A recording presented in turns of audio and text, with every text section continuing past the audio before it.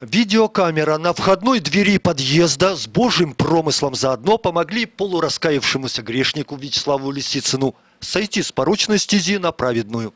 36-летний нижнетагильский рецидивист два года обирал доверчивых стариков до нитки, выдавая себя за полицейского, изымающего деньги в поисках фальшивок. Сказал, что мужчина рассчитался в магазине фальшивых купюр. После чего он мне предоставил денежные купюры для проверки. Мошенник из Тагилстроевского района утверждает, что в последнее время он частенько якобы наведывался в Божий храм и подолгу вел душеспасительные беседы со священником. О том, чтобы самому прийти в полицию, рецидивист даже не думал, вероятно полагая, что это не по понятиям. А если бы вас не задержали сотрудники полиции? Я хотел завязать. Давай, давай. я Что, что не дало? Вы же не пришли с повинной, не сказали, что я вот обманывал пенсионеров. А кто с повинной? М? А кто с повинной пойдет? Нет, ну говорите, что хотел Я завязать. ходил в церковь даже, я, потому что я грехи свои думаю. И со священником.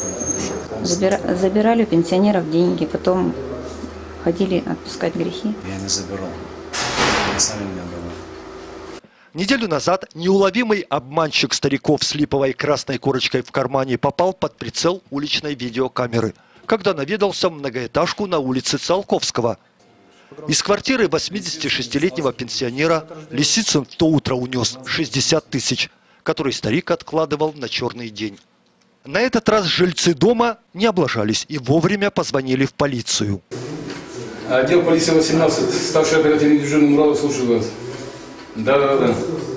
Адрес наведите, пожалуйста. Кто знает, может быть, мошенник и на этот раз ускользнул бы от возмездия. А такое он за два года проделывал добрую дюжину раз. Но всевидящая судьба, разбуженная мартовской оттепелью, на этот раз не дремала. Бдительные граждане э, установили на, на подъезде видеонаблюдение э, с целью обезопасить себя от преступных действий. В дальнейшем эта видеозапись была приобщена к материалам уголовного дела, и в ходе оперативно-розыскных мероприятий э, указанный человек был, его личность была удостоверена, и он был впоследствии задержан.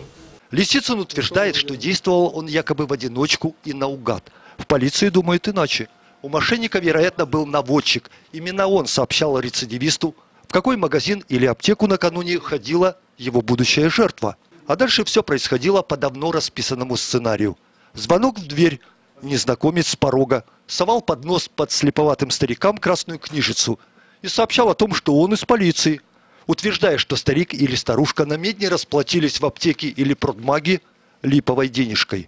Для честных доверчивых тагильских пенсионеров подобное подозрение выглядело смертеподобным обвинением. И чтобы доказать свою честность, они, не раздумывая, вытаскивали из потайных уголков и узелков всю свою наличку, прибереженную ради последнего дня в их жизни, на гроб, на крест и на поминки. Со словами, дескать, без экспертизы подлинность купюр не разобрать, Лисицын забирал деньги, и не рубли, десятки, а порой и сотню тысяч, и уходил. Взволнованные старики лишь позже вспоминали, что даже расписку псевдополицейский им не оставил. Из-за возраста и эмоционального потрясения старички даже приметы незнакомца описать точно не могли. Похищенные деньги, которые честным тагильским пролетариям ладони бы насквозь прожгли, Лисицын тащил в свое логово на Красном камне. Там его ожидала женщина с тремя малыми детьми. Мошенник, надо сказать, не жадничал. И на чужие соцсбережения устраивал семейный быт по своему разумению.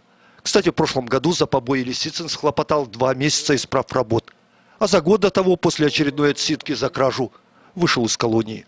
Новая тюремная ходка не обещает быстротечности. В ближайшие лет шесть недораскаявшемуся грешнику молиться придется в церкви, в которую прихожан водят под конвоем.